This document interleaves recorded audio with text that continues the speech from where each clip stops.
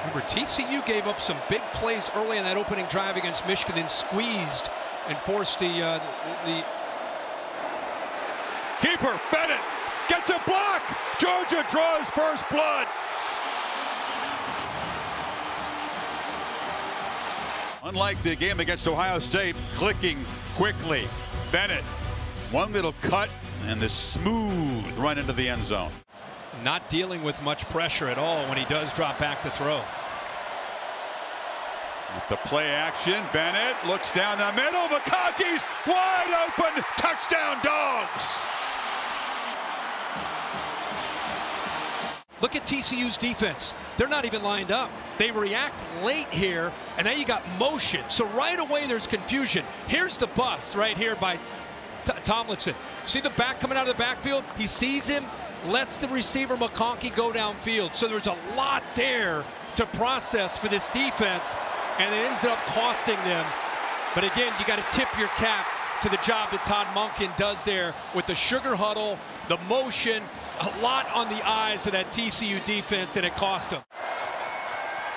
Bennett has all kinds of time. Launches for Bowers again, who makes the catch in TCU territory. Break that huddle quickly. I think it's causing some miscommunication for the TCU defense, and they're trying to catch up to it. It's Jamoi Hodge, and that is a really difficult thing to do for a big linebacker at 245 pounds to stay up with Bowers, who is one of the fastest tight ends we've seen.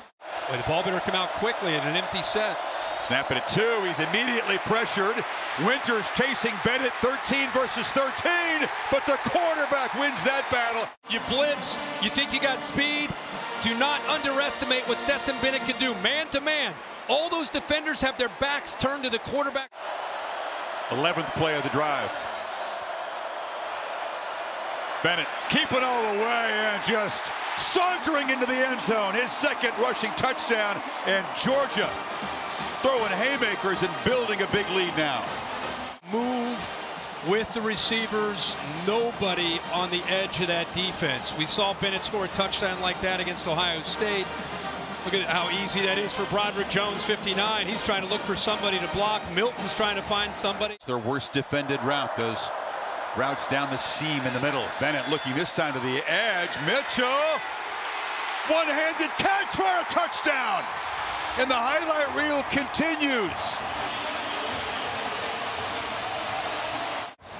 You're right here, Chris. He doesn't have a chance. That looks like to get that left hand, the left arm up because it's locked down by by Newton. Touchdown, Georgia. Newton's fighting to try to get that ball back. That's just brought in with his body and his right hand to try to secure it. Newton never really gives up on the play as they hit the ground. Mitchell, who had a high ankle sprain, a bad one, really spoiled his regular season. Now has a touchdown catch in three different CFP games in his career. And this is a complete beatdown. 31 point margin at the break if Ludley can make this PAT. How's the location of that football for Mitchell? It's a heck of a catch, but another great throw. TCU fans hoping that uh, that will create some kind of a turnaround here, but that's reaching a bit. Ball to the end zone. Bowers, touchdown. And Bennett continues to dazzle. And Brock Bowers showing that he is one of the elite athletes in this sport. Space by being on the outside. Here you create space with a condensed formation, and then you create the one-on-one -on -one matchup and you work back out. I could easily see a Stetson Bennett in that kind of system being effective because he distributes the ball and he's intelligent. Third and eight, right down the seam, and there's Big O, Darnell Washington joining the tight end party tonight down to the 11-yard line.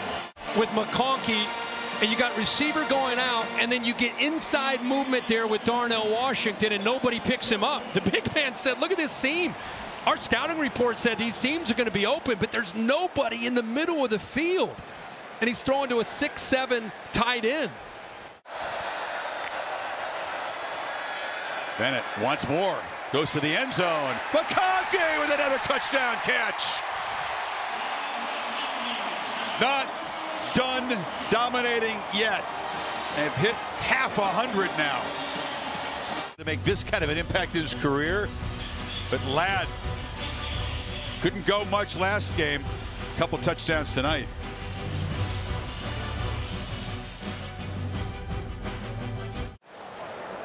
TCU just not built the same way, and Georgia continues to stack recruiting classes on top of each other. They don't use the portal. They don't have to. It's a Stetson Bennett curtain call here. Here we go.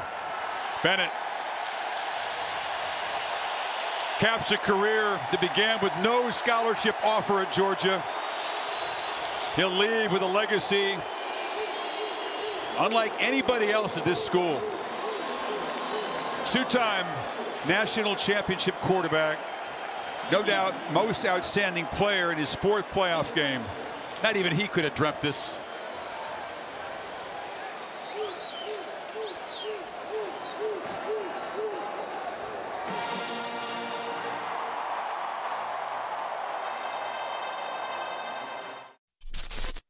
Thanks for watching ESPN on YouTube. For live streaming sports and premium content, subscribe to ESPN Plus.